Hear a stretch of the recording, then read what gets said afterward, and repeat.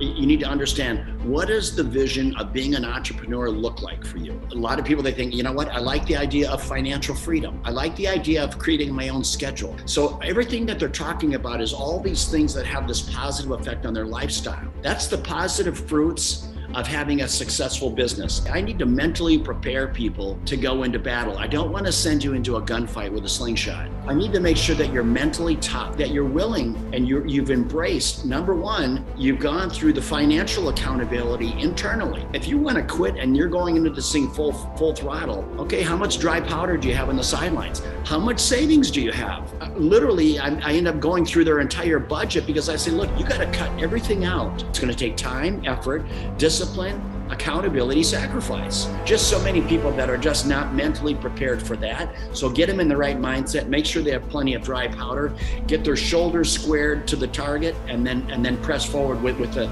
with an intentional, meaningful path.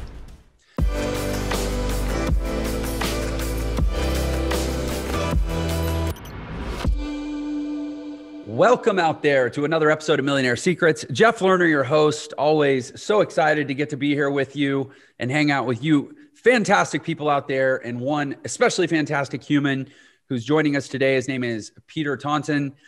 He is the creator of Snap Fitness since back in 2003. Uh, started as a We'll, we'll, get to hear about it, but started as a flicker of an idea and now has over 2,500 locations in 26 countries. It's expanded to incorporate a variety of other fitness brands, uh, has delivered over 165 million workouts. I think that's a, a pretty amazing number. Uh, Peter's been named Ernst & Young Entrepreneur of the Year. His, uh, his companies have been named to just about every list you can be named to for, for building great companies as an entrepreneur. Um, he's a massive uh, fitness entrepreneur and apparently a pretty darn good racquetball player. So we're excited that Peter is on Millionaire Secrets. Welcome. Hey Jeff, thanks for having me. I'm glad we could we could squeeze this in. Yeah, yeah. Likewise, um, I really am grateful. Grateful you're here. You have obviously a, an enormous story, an enormous amount of success. Uh, right before we hit record, we were we were kind of starting to talk about the difference between the the filtered sexy version of entrepreneurship that gets glorified on you know instagram and, and other platforms as well. Instagram's probably the most egregious frankly. And uh, we're here to talk about the other. And you were saying that's actually why you got into social media which i was going to ask you because i noticed on your bio that you you consider yourself a very private person and yet here you are out there spreading the the entrepreneurial gospel. So can you talk a little bit more about that? Of course. It it's but, but I stepped down. So I've been in the health and fitness space for 30 years. And two years ago, I stepped down as a CEO. And about six months after stepping down, I had more free time at that time. So I started looking at social media. And what I was seeing so much of was just fake, you know, posers, call them whatever description you want, but, but people that are standing in front of jets they don't own, in front of right. Ferraris they don't own, everybody making it look easy. And it's really it's it's people's highlight reel. It's not a fair depiction of, of of how difficult it is to be to have financial success in business. And so I tried. I I put my I threw my hat in the ring to give people a real uncensored perspective of, of just what it takes to be successful in business the the discipline discipline and sacrifice and accountability that one needs to be able to embrace uh, before heading into to, to business and being successful so that, that's what prompted me to get into the space. I started doing some consulting, and then this, the consulting just kind of segued into a number of different other opportunities for me. I've since been hired as one of the Forbes instructors. Uh, I have a book coming out, and all of it is kind of centered around my story of, of how you can how a kid who grew up in a two-room schoolhouse can build a, one of the largest wellness brands in the world. Yeah, I, I really appreciate that that sort of backstory like you just described. And and i will share um, you, you, know you mentioned you were you were ceo of of the it looks like the holding company that owns a number of fitness brands. Yes. You stepped down from that and thus sort of found the time to get into social media and start producing content. I, I will share personally that i'm i'm juggling both at the same time. Okay. Um, i'm i'm actively scaling a company. You know we have some big targets this year. We did we had 60000 uh, paying customers last year and we're targeting to do a quarter million this year. It's, it's a big enterprise. And at the same time, because of the nature of my business, I'm out there kind of doing what you're doing, sharing the inside look and really hoping to inspire a lot of people about what it takes, but also what the upside is. And my friends, I, I envy you. I, I would have, at one level, I should have done one, or I see the appeal of do one, pause, then do the other, because it is an enormous amount of work to actually be an entrepreneur and to talk about being an entrepreneur. Yeah, no, for sure. For sure. It's it's a it's a lot of work and honestly stepping down after being in that business for 30 years and stepping down that that in itself is a real mind check because it felt like everyone was going to school and I was staying at home. I mean, I spent 30 years getting up every day, fighting the good fight, doing the grind, right? Yeah. And so stepping away from that took took a while to, for that to settle in and find out what my new purpose was. And and then for me, eh, I'm, I'm determined at this point moving forward to really focus my energies on on the things that really bring me joy. So I, I love I love consulting. I love mentoring entrepreneurs. And, and the beautiful part about entrepreneurs today it's not just you know the I think about the young people in, the, in their in their 20s, you know, and they, they want to be they want to get into business. But I, I love it. I was just consulting a guy the other day who was who was 70, 70 years old and uh, he's looking at his next venture. I mean, yeah. I love the fact that people are just they're willing to get at 70, they're still looking for their next thing. I love it. Right. There's no quitting people. They're just they just grind it and work it. I love it. Yeah, I, I feel like entrepreneurship, uh, you know, to kind of get to the the juxtaposition of what it looks like and what it is, is it's not a it's not a thing you did to get a result. For me, the people that are really successful at it, it's and this is why I use the term entrepreneurialism rather than entrepreneurship. It's almost a philosophy. It's a way of being. It's like a it's almost like a religion. You don't you don't park it on the shelf at some point in your life. You'll you'll be done when you die. Yeah, right. right. Exactly right. And and people think about, you know, they say, Peter, what are you doing now that you're retired? And you know, retirement, I don't I don't even I don't even like that word, right? Right. I tell people, I'm not retired. I'm simply transitioning into my next thing, whatever that next thing is, you know. So that that's what I, I look at. It's transitioning. Yeah, yeah. It's like it's like I don't know, being a Buddhist or something. They're like, well, what do you believe in now that you're retired? right? well, I'm a Buddhist, man. I'm an entrepreneur, whatever. yeah, so, no, that's exactly right. So you talk about these college kids, and I'm in the entrepreneurial education business. Um, although I work with a lot of adults that are looking at a at a you know a transition or an evolution in their life. Um, by virtue of being an educator, I get a ton of outreach from young people, teenagers, yeah. college age kids, and and there seems to be this I would say it's a burgeoning, pretty established awareness among young people that like there is this other world out there that they're not hearing about from their teachers, probably not hearing about from their parents unless their parents were entrepreneurs. Um, and it's and it's attractive. And and part of what I think you know has made it attractive again is this this overly filtered, non realistic view of it, but coming through the media. But you know, people hear about time freedom you know, obviously financial upside, flexibility, the ability to control your own lifestyle, make your own choices, not have to punch in. Um, yeah, I noticed that you in your story, you you dropped out of college, right? Yeah, and you know what? To, to that point, Jeff, I'm I'm amazed that so many of the people that I speak to, honestly, probably eighty percent of them, when they say they want to be an entrepreneur, I talk about okay, what does that look like for you? Because everybody has a different vision. I think when you're setting back with people you need to understand what does the vision of being an entrepreneur look like for you and you mentioned earlier they a lot of people they think you know what? I like the idea of financial freedom. I like the idea of creating my own schedule. Um, and so everything that they're talking about is all these things that have this positive effect on their lifestyle.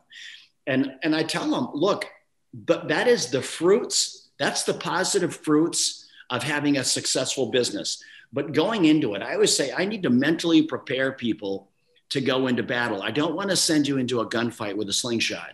Right. So I need to make sure that you're mentally tough, that you that you're willing and you you've embraced number one that you've gone through the financial accountability internally because to me if you're leaving your job and you're going to start something else I mean, it's one thing if you're going to hold your main job and you're going to do a side hustle. That's one thing.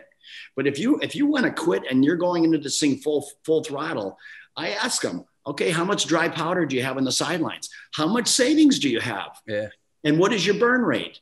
And uh, literally, I, I end up going through their entire budget because I say, look, you got to cut everything out because you got to make sure that you have dry powder you don't want to you don't want to exacerbate the situation by the challenges of growing a business because it's going to take a lot it's going to take time effort discipline accountability sacrifice right and there's just so many people that are just not mentally prepared for that so get them in the right mindset make sure they have plenty of dry powder get their shoulders squared to the target and then and then press forward with with a with an intentional meaningful path yeah, you know, talking about the the the compounding value of reducing your burn rate. I was reading something kind of interesting this morning. I'm doing some research for a, a course I'm putting together, and it was talking about uh, it was about Warren Buffett and Charlie Munger. You know, the two partners at Berkshire Hathaway. And it was like the question was posed like, why is Charlie Munger worth so much less than Warren Buffett? You know, Warren Buffett's worth $80 billion and you know, Charlie Munger's no slouch. He's worth $2 billion. Yeah. But it's like they're visibly doing the same work. Like, what's the difference? And it basically, the, the two main, um, the two main observations were that one, uh, Charlie Munger gave away some of his wealth during more of his wealth during his life. Uh, whereas Warren Buffett, he just focused on building and building capital because he said, "I'm so good at making money. My money will do better the more I can build it, and I'll give it away when I'm, you know, die or close, you know, in the latter phase of my life." But the other big observation was Charlie Munger had more kids, and so his cost of, you know, it, it's it's ridiculous or it's silly now to think of billionaires having to buy books for their kids or yeah. whatever. But 30, 40 years ago, having six kids that you had to buy school lunches for rather than maybe two literally that's one of the main explanations now for a 78 billion dollar discrepancy and yeah. that's that's the impact of what seemingly more minor expenses compounded over time in the early stage. So to your point you got to eliminate everything you can when you're starting out. Just just do the best you can to go into it in the best position to win. And because there's nothing more stressing or demoralizing as a, a, when you're trying to launch a company is being cash strapped. Yeah. not only the business financially strapped but you personally financially strapped because if you're personally financially strapped and you're working for this business that you're trying to launch you're always thinking about how can i pull money out of this business to support my lifestyle and just pay for my basic necessities. It's just another mindset rather than having some dry powder on the sideline so you can double down when opportunities present themselves. Mm-hmm. And, and maybe to your analogy with Warren Buffett, you know what? Warren Buffett not having six kids, I don't know that six kids are that much are going to make that much of a material difference in the big picture of things, but definitely Warren had more time to yeah. focus to focus on on opportunities and seizing opportunities. And one thing that Warren does really, really well is getting his money working for him. So his money it doesn't sit quietly. He doesn't leave it sitting in a bank. He's got it working for him. Things that are paying him a dividend, and when he gets those dividends, he gets that money working for him. You know what I mean? He's not pulling it in. Now there's a time for all of us. I mean, for me, in my in my case, you know, I made sure when when I stepped away from from my company, eh, but I've had I've had a couple of liquidity events with my company. I'm still I'm still I still own about 30% of my company, but but I've exited. I pulled 100 million out of my company. So I'm not I made sure that for me that it's not and I've divested that into real estate and a number of things where I've got cash flow coming in. So I'm not worried about cash flow. It doesn't affect any of me. And then my other large nest egg is just compounding. It's in a number of different things that are very diversified. So I'm not to a place yet where I say, hey, look, I'm not going to work anymore. I'm just going to pull a stipend out of my proceeds. I don't do that. I'm I'm kind of a Warren Buffett a mentality of I like every dollar working for me. I have a certain yeah. lifestyle that I live, but I don't, uh, you know, I, I don't waste it. And I'm not wasteful. I guess is what I say. Well, that's kind of the nice thing about being an entrepreneur is like, at least I can only speak for myself, but it sounds like you might be the same way. Like, this idea of this idyllic sail into the sunset retirement. It, you know, I feel like a lot of people that if they're in traditional employment, they're planning for 20 years of not working. That's kind of the goal. Whereas us, like, I, would go in, I can't do 20 minutes without working. I go nuts. So there's no need to convert it into this passive vehicle. It's better to just keep growing it. That's a, and you know what, Jeff, that's a great point. I'm glad you, that you share that. And and you know, a lot of people don't understand that work can be fun. You can yeah. enjoy you can enjoy what you do. I genuinely enjoy. Even the 30 years that I ran my company, I really loved going to work. I remember some weekends I couldn't wait for Monday so I could get back in there and, and see the people and get right back and just fighting the good fight every day. So you know what? Find something that you love, and it's so cliche, but find something you love. You'll never work a day in your life. There's some truth to that and doing something you love in a company that you own i can tell you you know i hope for every one of your listeners out there that you have an opportunity to experience that at some point in your life. And i don't care if it's a if it's a lawn mowing business a cleaning business or or you're building a large empire.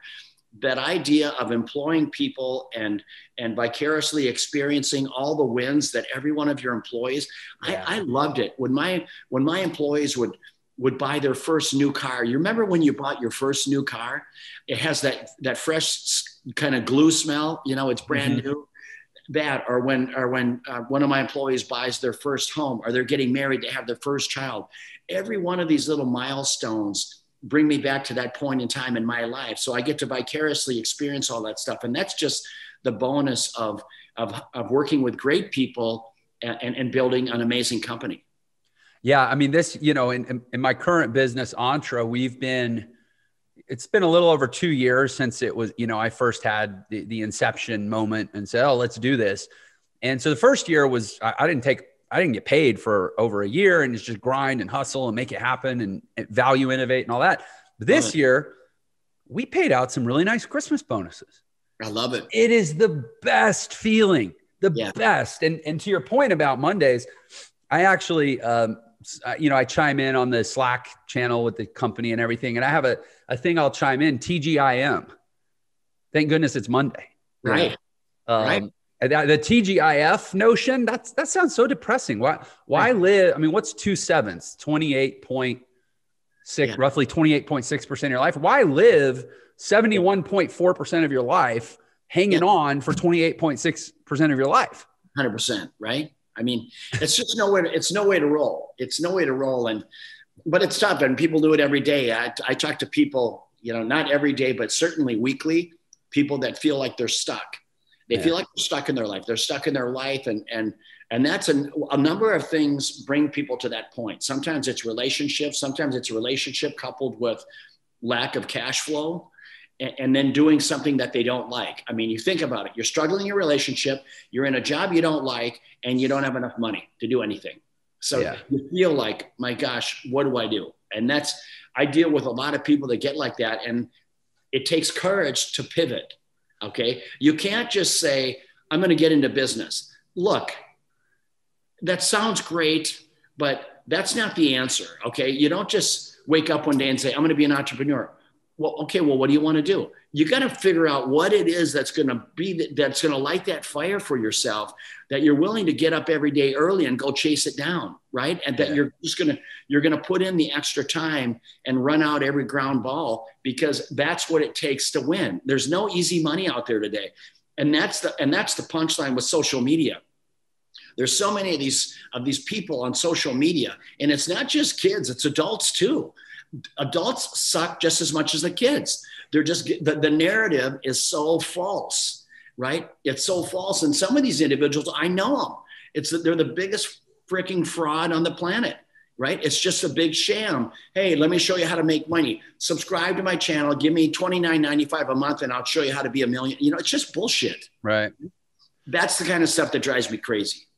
Yeah. Well, it. I mean, it does me too. I. I I like to say to the extent that, and, and oh, I just, I, I abhor this term, but if it, you know, I've had a few people say Jeff's my guru and I'm like, no, I'm the anti guru down with gurus. It's a, it's a detestable concept because anytime people are caught up in you, know, that term where there's almost like this sort of um, what would the word ideal ideal idealization where you're idealizing this thing this person like there's this yeah. uh, you know reverence factor. It's like you've removed all the realism from it. And if anything we need way more realism. It needs to be a way grittier conversation. It needs to be like talking about becoming a navy seal.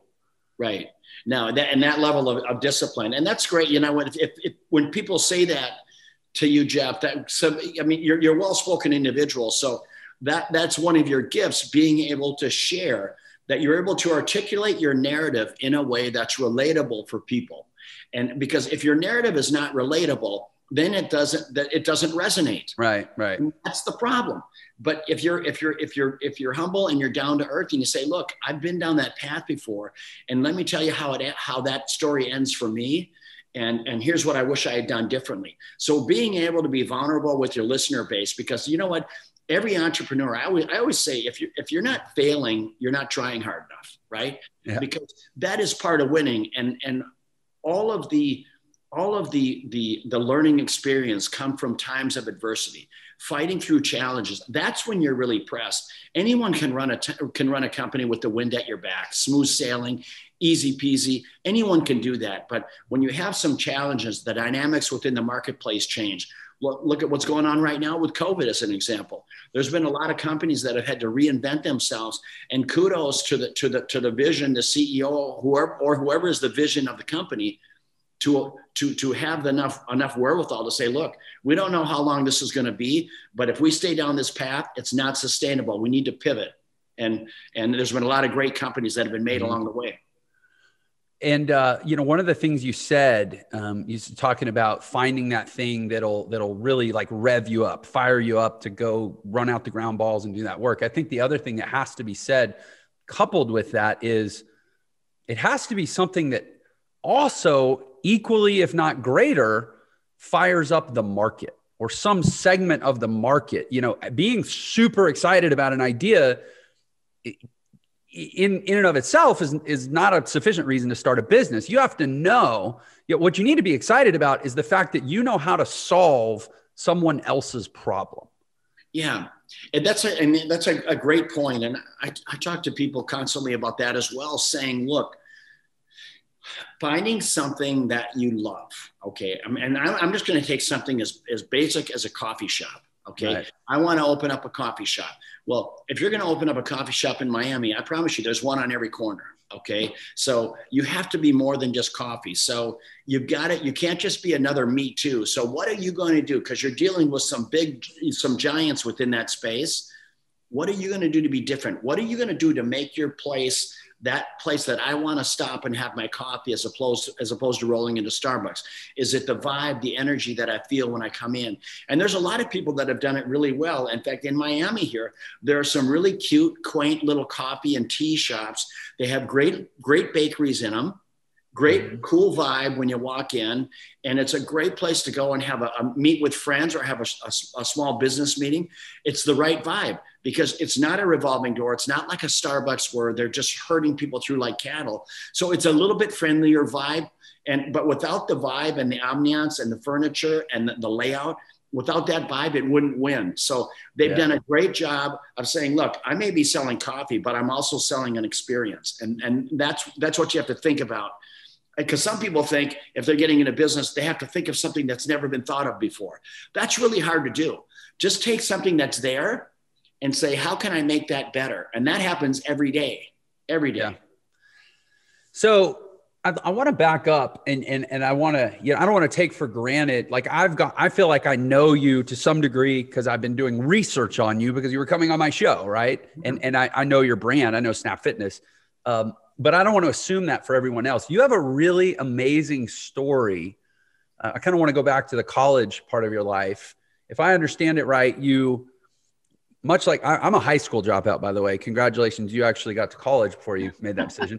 um, you, you know, you were frustrated in a class and you dropped out. And correct me if I'm wrong, but you went and started playing a bunch of racquetball instead of in lieu of telling your parents, right? Yeah, that that happened. And I think I think for context, and this is important for everyone, I, and I just want to set the record straight. I, I'm not a trust fund baby. I grew up youngest of seven kids with an identical twin. All right. Youngest of seven kids. I grew up in a two room schoolhouse. My father had a grocery store in my hometown, and I, and I had the opportunity to go to work when I was eight years old. So that was my little hustle. Okay.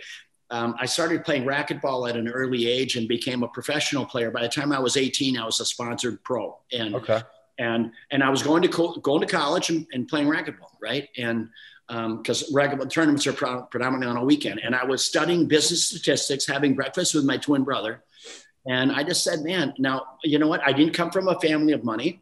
And my, my parents said, hey, look, you want to go to college? Go to college, but we're not paying for it. Right. So I, I had about $12,000 of student loan debt. And I'm thinking to myself, this is kind of funny, Jeff. I'm thinking, my gosh, I'm going to be 80 years old before I get this thing paid off, right? I mean, because I had no perspective, because I, I never had any real money, right? So I just said, I'm out. I read, I'm out. I was studying business statistics. I closed my book. I said, screw it, I'm out. I said that to my twin brother. About 30 seconds later, he looks at me, he says, I quit too. And we quit. We never told our parents, and we continued to play racquetball through the rest of the semester. We lived in the dorms, and you know, it, it worked out for both of us. You know, he went on um, to, to, start, to start a, a, shoe business, a shoe store, and it ended up selling it to Foot Locker, and oh, cool. which is a story in its own right. And uh, and then I went on to, to to you know create a fitness empire. Well, we'll have to get your, your brother on the show too. I'd love to hear that story. Um, but and to be clear, I just I just want to sort of nip in the bud any you know d- delusions people have about what it means to be a sponsored racquetball player I'm guessing they weren't paying you like six figures a year to play racquetball. No, it was no. probably mostly like free gear. Yeah, yeah, free free gear, some travel and accommodations, but um, you know, you would be playing in in, in tournaments, you know, th- three weekends a month Right. And then if you're not playing tournaments, you're doing like if a new if a new club would open up somewhere, they would bring the sponsored players in to put on an exhibition in a clinic. So mm-hmm. that that was generally pretty decent money, but you couldn't believe me. That's you weren't going to get rich out. You're not going to make a career out of it. It was just for me. I loved the sport. It allowed me. To, it gave me the opportunity to travel. Growing up in a small town, I, I didn't have that opportunity. Mm-hmm. So being able to travel around, I, I loved that, and uh, and I love the fact that I was I was good at it. I was a good player. So, how were you able to parlay? Again, you drop out of college, uh, you're playing racquetball. I'm, and it's funny. I had a guy on the show, Mikey Taylor, who had a similar experience. He was a professional skateboarder, okay. and it's a it's a similar sport where you get sponsored, you become well known within that you know niche, but it's not like being a professional basketball player or something, right? right. You're not nobody's giving you a million dollar signing bonus. So yeah. I assume that fi- money was still scarce it was, and I had an opportunity. I was at the time I, I, I, moved from Minneapolis down to to Orlando, Florida, and I was playing the Sun Belt. And before I left, the club that I played at all the time as a kid, I, I told the owners of that club, and that was a club that was struggling. I knew that because being a pro, I got to know. I knew the owners, and I knew that the club was financially struggling. And I told the guys, look, if you ever want to turn this club around, give me a call and, I, and then I moved to Orlando. A year and a half later, my phone rang and it was these guys, and they said, "We'd like you to come and and turn our club, turn this club around. Here's the deal: we'll pay you sixteen thousand dollars a year, but if you turn it around, we'll let you buy us out with the profits that you generate." Because these guys have been feeding this club about two hundred and fifty thousand dollars a year. Hmm. So every year there was five owners. Every year, every one of these guys would be throwing 40, 50 grand into the bucket just to cover cash flow. All right. So they were fed up with this thing. It took me eight years. Now here, here's another great lesson for your mm. for, for your, your audience. So for the first eight years, it took me eight years to turn that club around and, and have enough equity where I could where I bought everyone out. So now think about it. I was 22 when I started. Now I'm 30. All right. I, I own this club free and clear. And and and now the, the club is making about 200 grand a year profit. All right? mm-hmm. So I could have sat there, but I didn't. I doubled down. And I went to that same bank, I got a loan, and I built another club. So I did that seven times over the next 10 years. So mm-hmm. now I'd been in the business for 20 years. I sold, I sold those clubs and I had about $3 million in the bank. So that was my life savings at that time, Jeff. Think about it. I was 40 years old at the time. I had 3 million in the bank. That was my life savings. I thought I was doing pretty good. Okay. And then I, and then I had the idea to start Snap Fitness. Now, it's never too late. This is important. At 40 years old, I started my company. it, I had the right product at the right time. Within five years of starting, I opened my first club in 2004. In 2009, I took my first bite of the apple. For any on your listeners out there, a bite of the apple is when you start a company and it's time to take some chips off the table. Yeah. I promise you, every one of you entrepreneurs out there, don't make the mistake of starting a business, riding it all the way to the, to the crescendo, and then riding it like a toboggan down the other side. It happens every day. Don't be greedy. So along the way up, take some chips off the table, but make sure that it's going to be meaningful for you. So in five years of starting the company, my company was valued at $100 million. I sold 40% of my company for 47 million. That 47 million left, came to me, it went right into my personal checking account. I didn't need it for, I didn't need it to grow the company because I was flush with cash. Okay. Mm-hmm. So the, the, I, I now I'm still control of my company. So I didn't give up control. I sold 40%. I'm still control of the company. Over the next five years, I took the company and doubled it in value again. I valued it at 200 million. I took another bite of the apple. Okay. Yeah. Once again, it's a good time. I, I, sold another percentage of the company for about the same amount, and then went ahead and ran the company for a few more years before before stepping down as the CEO. But for me, the you know the company now with COVID, it, it struggles a bit, but they'll come out of it. But but but everyone is struggling. But the the, the moral of the story, the punchline is you know take strategic bites of the apple along the way. It's the prudent and the responsible thing to do and you owe it to yourself as an entrepreneur because winning in business it's hard to do. You need to be rewarded. Yeah and i'm curious so i'm thinking through that timeline. You started 2003 2004 you said you took your first bite five years later. So that was that was mid great recession. Yeah 2009 yeah so so you were able to get that valuation uh, mid Great Recession. How much did the, that that big recession at that time impact the company? None. I mean, that was the what what you what we had was the that was when the the, the banking bubble burst. Right, right. The, right. So, I mean, I haven't remember in 03, you had the dot com burst. Right. Okay. So these things happen periodically. You know, dot com burst in 03. You know, 2009, the, the, the banking crisis, right?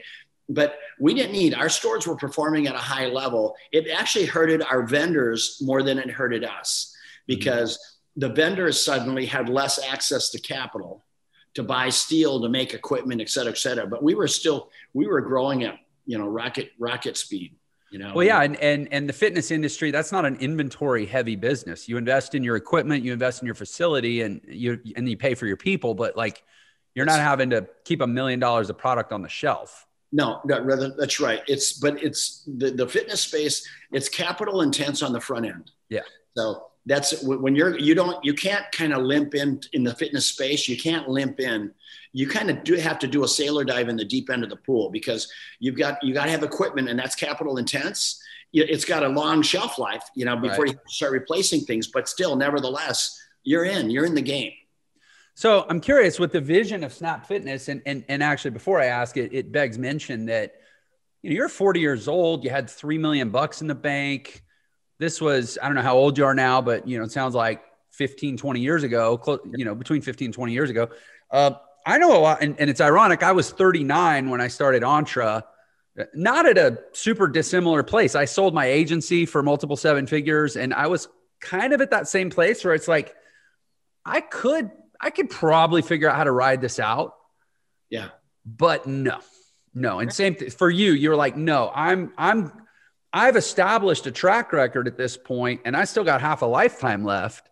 Right. Um, but what, how much trepidation did you have about essentially betting your nest egg on the next thing at a point, at a point where you could have cashed in if you wanted to? Well, when, when I made the first, I was cautious, which I recommend for everyone. I mean, I, I built one club. The first club I built, I built it in an urban market. And I was pleasantly surprised. It was a significantly smaller footprint than the clubs I had owned previously. Mm-hmm. And, and I eliminated like swimming pools, climbing walls, uh, childcare, racquetball courts. So I, I, I stripped this thing down from 40,000 square feet down to like four to 5,000 square feet, one tenth the size. Instead of 50 employees, I had two.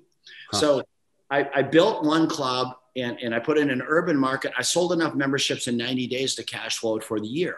Now, when that happened to me, Jeff, I was pleasantly surprised. I said, you know what? I like this. I'm going to do it again. Okay. Now, had that first club failed, then I probably would have been less less um, eager and enthusiastic right. about opening another one.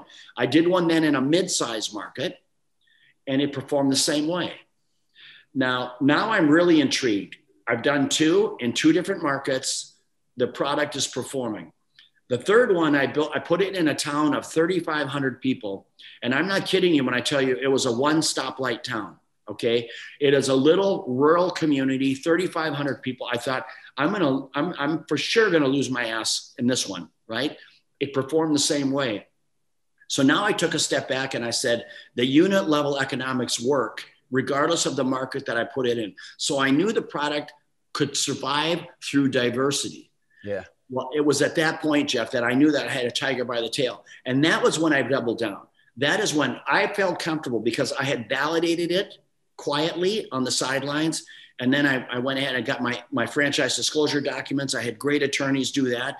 And then I was all in. And literally four years from, from that day, I was opening my, my, my best year. I opened 377 new stores in one year. I was opening more than one store a year, not, not signing a lease. I'm talking about physically open a store where people are inside exercising. So you're like, it's like in the morning and you're like, oh, I'm at the grand opening in Poughkeepsie, New York. And I got to charter a jet because we're opening later today in Miami or something. Like that's every, crazy. It was, it was, impossible. It was impossible. You could never go to every opening. Yeah. It was impossible. You know, the, the when when I would go into a new country, then I would go in there and do a ribbon cutting at that country for the first store opening, something mm-hmm. like that. But today, and then when you think about when you think about um, seizing opportunity, so in the dot in in the banking crisis coming out of that in 2009, there was a lot of people that had battle wounds coming through that. I was flush with cash. I had no debt. Okay. I was printing money.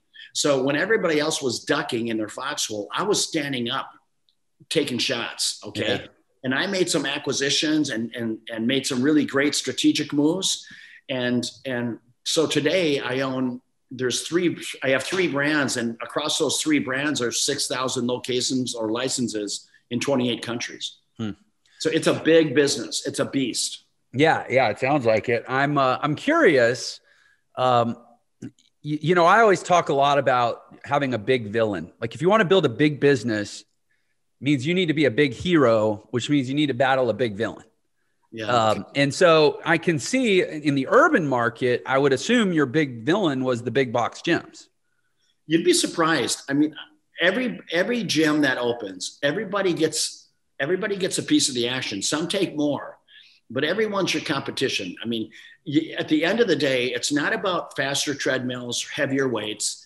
It's about the community and culture that you can generate within your four walls. Okay. And so it's really about that, and and and that comes with people. So for us, everyone was a competitor, and that's how you have to look at it. You got to look like everybody is the enemy and you got to and you got to wake up every day. And i think that, that this is a great fuel for you. You got to wake up every day thinking that somebody's trying to steal it.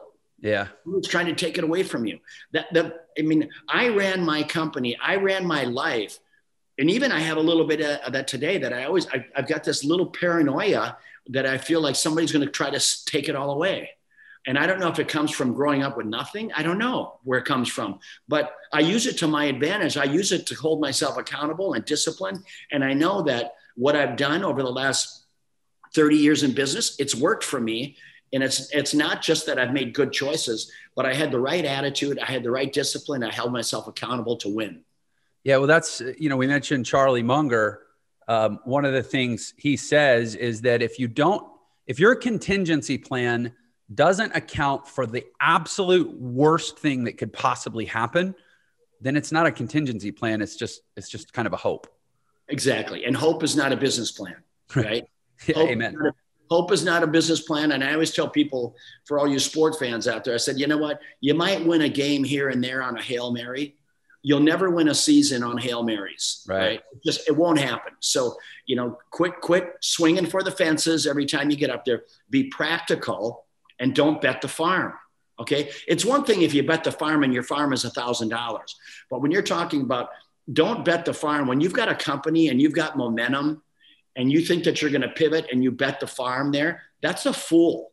That's a fool that does that because if things go sideways, now you're out of business. And it's not just your life you've affected, but you've affected the lives of, you know, in my case, hundreds of families that were banking on me making the right decision every day. Yeah. You know, you so, got to be on yourself. So you mentioned, and yes, I, I, you know, as my company's grow, you know, I, my company now is officially bigger than any company, any business I've had in the past, and it is, is, it is really powerful the, the weight and the awareness of all of these people's lives, right? That that are basically depending on me to not be a jackass every day, but um, get every day and, and fight the good fight on their behalf. Exactly, and so I'm curious. You know, as you mentioned, fitness is at many levels a commodity, right? There's weights and there's gravity, and you push one against the other. Um, so, and you you saw say it comes down to community and culture. Uh, what was your mo, especially scaling a business that fast? How did you create and control and and scale culture in a way that you know where you had the same energy at 2,000 locations that you did at at two? Well, and that's the challenge with, with, with franchises because you're only as good as your weakest franchisee. Yeah. You can give them, you can give them the, the right equipment selection. You can help them with their real estate selection. But at the end of the day, um, you know, they go through extensive training at our office through, through Snap Fitness University.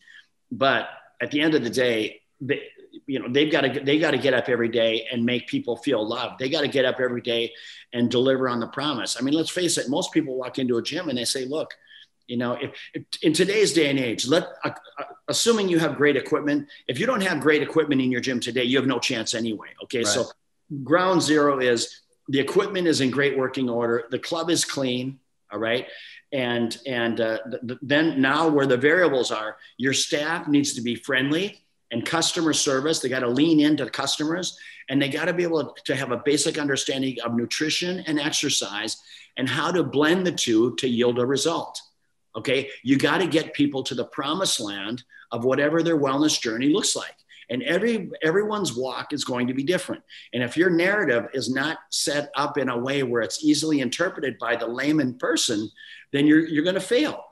Because then once you have that, because there's also all kinds of tools that will allow you to, to keep people accountable. You can track their attendance. There's little flags that go off. You can call them, say, Hey, Jeff, I haven't seen you in a few days. Is everything okay? I mean, little things that I can do to keep you coming into the club because that retention for you as a member matters to me.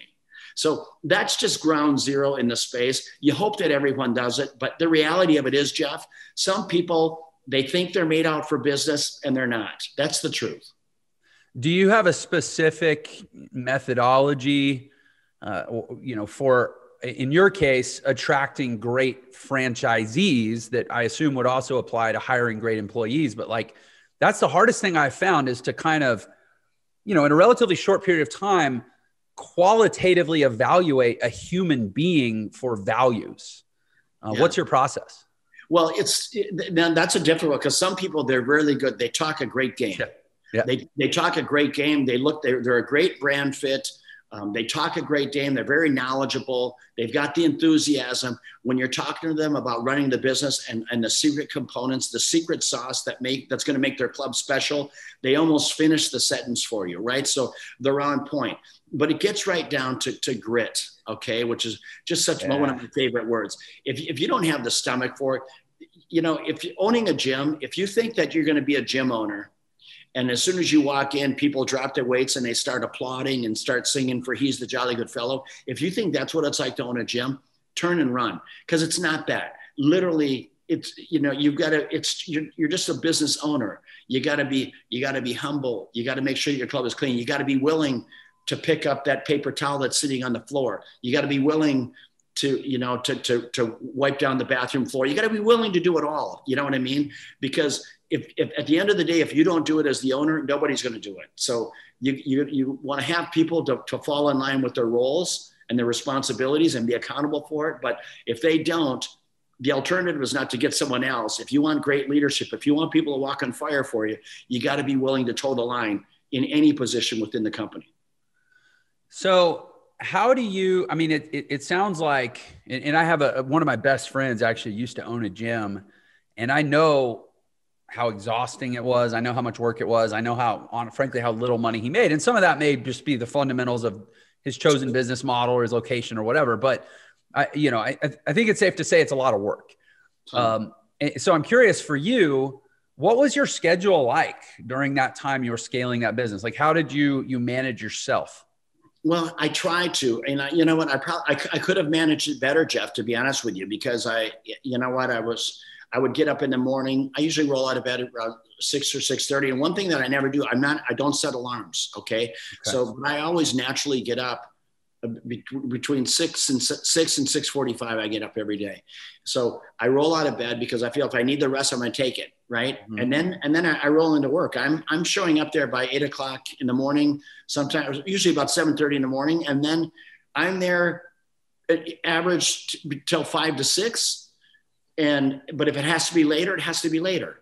And if I've got client dinners or calls at that night where I've got to participate in a, in a franchise call of some sort, I do that. You're, you're always available. And that's one thing owning a business, you got to be saying, I always told people, look, I'm available seven days a week, 24 hours a day. Because when I would sell a master franchise to someone in India or Australia, I would let those people, they're, they're paying me a lot of money to be able to fly my flag, my banner Mm-hmm. And I wanted them to know, hey, look, number one, first of all, I, I, I appreciate you and I appreciate your your your your commitment to our brand, and I'm going to be there for you. So if you have any questions at all, um, feel free to call me directly. Now I'm talking to the president of that of that company who's going to fly my brand. So it's not like I was having his employees call me, but and I would get calls and emails and whatnot from people all hours of the day, all hours of the night. It didn't matter because to me that came with that comes with the turf of trying to build a brand now once again i didn't i didn't set out to open 10 clubs you know what i mean right. when, when i had momentum i said you know what i want to i want to I want to be a national brand. As soon as I was moving down that path of being a national brand, I said I wanted to be international. And you know, I just kept every time I got to my milestone. And and then this is a great lesson for all of your entrepreneurs out there you have to visualize where it is you want to go and you have to kind of stake that put that stake in the sand but then set milestones along the way because in some cases like in my first journey it took me 20 years you, you have to set milestones because when you hit these milestones along the way you, you can see movement and movement is is motivating and inspiring to yourself otherwise you, there's a chance you'll lose interest yeah so for me as soon as I became a national brand, I immediately pivoted and said, I want to be an international brand. And, and you know, I didn't know how big international would be, but we add countries every year. So today, like I said, it's roughly 28 countries. We're, we're now expanding into Japan and, and going into cultures that are very, very different and diverse from what, from what I, I grew up in. But it's, uh, you know, health and wellness, it's a universal language. Yeah. Everybody's into it today. Yeah. And I think that's so important for entrepreneurs to realize that like you don't you don't really get that many wins. And when you no. get one, you got to see it all the way through. Like if you if you're winning, don't get bored. Do whatever you got to do to keep yourself interested so you'll take it all the way because you could go 20 years without another win. And it doesn't mean you're wrong, it just means the market's different or but when you hit the vein, you got to pull all the gold out of it. You're exactly right. That's a great point. You're exactly right. When you are when you are on a, a, a rocket. Now, for me, I knew I had lightning in a bottle, yeah. so I did just that. I had laser focus. I was not thinking about anything else other than building, selling franchises, and opening stores. That was my focus. And and there's so many people that lose that. I, I, I feel sorry for people. They they start having some success they're bankrolling money and instead of doubling down they, they take the, the, the, yields the proceeds from their business that's growing they up they upgrade their house they, rather than grow right. it back into the business they have a bigger house the, the vacations become much, much more luxurious and and they become complacent and rather than just saying look i'm going to suck it up for the next five years and let's see how it goes and then after five let, let's take a look and see but I mean, if you're not careful, you wake up one year and, and you've got five, $10 million in the bank. And, and now you can put that to work for you. And that's going to be life changing for you, right? Yeah. That passive income is going to make a difference in your life. Yeah. And, and, you know, I mean, we keep talking about Buffett, uh, you know, he also talks a lot about staying in your circle of competence. Um, you know, I think it's interesting. You, you made some money as a fitness guy, and you didn't take the money and go, "Oh, sweet, now I'm going to go do hydroponics." You said, "Okay, I'm going to stick in my lane that I know, yeah, and try to go even bigger." Yeah, and that's uh, that's what I did. So Lift Brands is the is the is the the the fundamental company underneath Lift Brands, a Snap Fitness, Nine Round Fitness on Demand, and, and then a few other smaller brands. Mm-hmm. But that that that is Lift Brands. But now that I've stepped away, my my goal is the only things that I do, I do things that bring me joy. So I own a lodge in the Serengeti a five star lodge in the Serengeti. I love that. I'm in the music business. I hold I host a music festival in Minneapolis every year, the third week in July. Those are things that bring me joy. Um, I own a manufacturing company that, that creates biodegradable pellets that put it that I put in injection moldings for everything from from um, planters for pots or you, you name it. Right? So that's what that's what brings me joy. But with all of that said, I never, I never take the fundamentals. So I never have more than 20% of my net worth in these areas of where I'm not an expert. Okay. Mm-hmm. Because to, to your point earlier, Jeff, making money and winning, it's really hard. Okay. And, you know, for me, if I lose a million dollars, I have to make 2 million to save a million. Yeah. Okay? So think about that. I make $2 million. Uncle Sam gets half right? So that's just how it works. And uh, so just think about it. making those dollars. It's, you know, I don't like losing money in, in big chunks like that. Yeah.